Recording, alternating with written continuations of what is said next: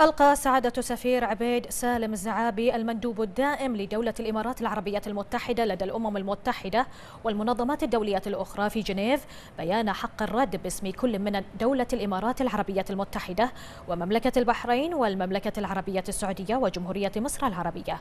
وذلك ردا على ادعاءات وزير خارجية قطر في الكلمة التي ألقاها أمام الدورة السادسة والثلاثين لمجلس حقوق الإنسان.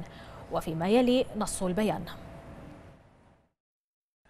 تستخدم كل من الإمارات العربية المتحدة ومملكة البحرين والمملكة العربية السعودية وجمهورية مصر العربية حق الرد على محاولة تزييف الحقائق التي وردت في بيان وزير خارجية دولة قطر والذي لا يعكس سوى استمرار النهج القطري في محاولة تضليل الرأي العام الدولي تجاه حقيقة الأزمة السياسية مع سياسة إنكار حقيقة دعمهم للإرهاب والتطرف وتمويلهما ونشر خطاب الكراهية والفتن والتدخل في الشؤون الداخلية للدول وليس كما ادعى وزير خارجية قطر أنها تنحاز لحقوق الإنسان وحق تقرير الشعوب لمصيرها. وهو ما يؤكد بأن المزاعم التي ساقها وزير خارجية قطر بأن حكومة بلاده على استعداد للحوار ما هي إلا محاولة لتحسين صورتها أمام المجتمع الدولي والرأي العام العالمي.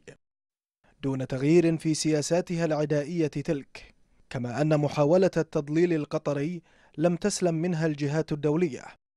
الأمر الذي دفع مكتب المفوض السامي لحقوق الإنسان لإصدار بيان بتاريخ الثلاثين من يونيو عام 2017 يعرب عن بالغ أسفه للتقارير المضللة في وسائل الإعلام القطرية. إننا نؤكد على ضرورة توقف قطر عن دعم الأيديولوجيات المتطرفة والأفكار الإرهابية ونشر خطاب الكراهية والتحريض على العنف الذي تقوم به بشكل ممنهج منذ سنوات حيث قامت قطر وعلى مدى عشرين عاما ببناء منصة داعمة للتطرف والإرهاب تشمل الدعم المادي والملاذ الآمن والترويج للفكر الإرهابي والشخصيات الممثلة لهذا الفكر والذي بعضها مدرج بالفعل على قائمة الإرهاب الدولية. وطالت آثاره العديد من حكومات وشعوب المنطقة بل امتد ليشمل شعوب دول أخرى خارجها. وليس أدل على ذلك من قيام مجموعة دول شقيقة وصديقة من خارج الشرق الأوسط باتخاذ تدابير مماثلة ضد قطر. ولعلنا نؤكد أن الإرهاب مفهوم معروف وكل من يحمل السلاح والمتفجرات ويروع المواطنين الأبرياء هو إرهابي. وكل من يحرض عليه ويدعمه ويموله ويوفر له الملاذ الآمن فهو مثله. مما يتناقض مع الجهود الدولية في مكافحة الإرهاب الذي يحاربه المجتمع الدولي بأسره. كان أولى بوزير خارجية قطر استغلال هذا المنبر الدولي للإعلان عن التزام بلاده بوقف دعمها للإرهاب كما طالبت دولنا بدلا من أن يطلع مجلسنا الموقر بادعاءات ومزاعم لا أساس لها من الصحة حيث لا يوجد ما تسميه قطر بالحصار فمنافذها البحرية والجوية والبرية مفتوحة لكافة الدول باستثناء دول المقاطعة التي اتخذت هذا الإجراء لحق سيادي في مواجهة السياسات العدائية القطرية بعد استنفاد جميع الوسائل المتاحة وممارسة الصبر لسنوات طويلة.